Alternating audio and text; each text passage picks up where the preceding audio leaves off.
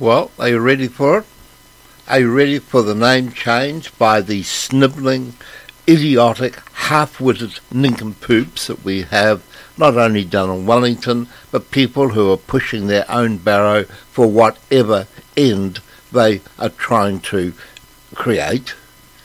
Yes, forget about Air New Zealand. It's going to have a name change. Or oh, these idiots would like to see a name change called Aotearoa. Wow, wonderful marketing. What a load of crap. A mythical name from somewhere. Air Aotearoa. When Air New Zealand, we have all spent millions, if not billions of dollars over the years promoting Air New Zealand and creating one of the better airlines of the world. Of all the deviations from common sense being committed by this apology for a government and its followers, we've inflicted on ourselves the latest has been the deliberate attempt to denigrate our long established and certainly our widely respected international brand name. New Zealand by prefixing it with a bloody awful mythical Maori term, Aotearoa, that's not going to help the cause at all.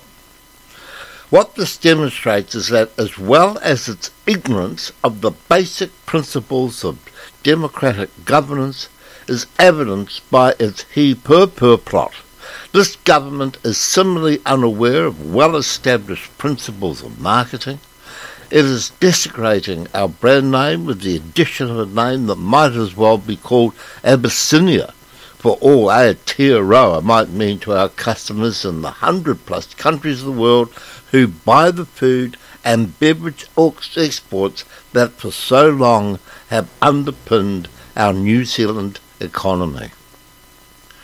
The latest sorry example of this ignorance, yes, ignorance of this government and the damn awful bloody followers, has been in the news with the visit of our Minister of Foreign Affairs, Nanaia Mahuta. And hasn't it been embarrassing watching her? She's representing us, you and I.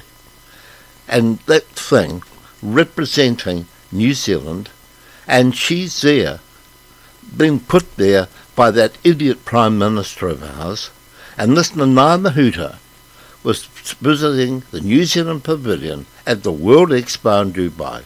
It's not just the t- titling of the entrance, Aotearoa, New Zealand, but the deliberate downplaying of the objective and an exercise that cost a reported $63 million of your and my taxpayer money, which in the words of its official website said. Now listen to this crap. This is the crap from the Ardern Maori government. The architectural concept for the pavilion was inspired by waka taonga receptacles made by Maori, the indigenous people of New Zealand, to safeguard items of considerable intrinsic value. The beautifully carved containers called wakahuia and papahou are important cultural symbols for protection and maintenance of our values and practices. They were gifted to the strengthen relationships, create new partnerships, and maintain traditions and stories from our generation to the next. Have you ever heard so much crap? And that's all it is. It is crap. The pavilion is New Zealand's Waka Taonga, a receptacle for essential aspects of our identity and values. The design used the Waka Taonga as a way of bringing people together and reflects the connecting minds creating the future theme of Expo 2020 Dubai New Zealand gift to the world is our kaitiakitanga, our care for people and place. Well, do you accept that? I certainly don't accept that. This is the biggest load of baloney, the biggest load of crap I have read in a long time. This Maori crowd the ones who think they know it all, who seem to know absolutely nothing, have set themselves up in this marketplace, this incredible opportunity of really, of really promoting and getting new customers for the products that we produce. I am quite certain that most people couldn't give a stuff who designed the box or who designed a beautiful carved lump of wood to put something in. Who could really give a stuff? The people buying our product couldn't give a stuff, but for some reason the silly little Maori mine down here and silly Ardern and her crazy bunch in Wellington think that this is the way to sell things. Well, I've been a, I've been a few years of marketing, and that that there is just an absolute joke. And when you see that Mahuta, that Nanaia Mahuta, walking and representing New Zealand, well, my blood runs cold. I lose absolute any confidence I had in the years and years and years of experience that built up our export markets to where they are. And then you have this crazy Ardern government with this person fronting us called Nanaia Mahuta.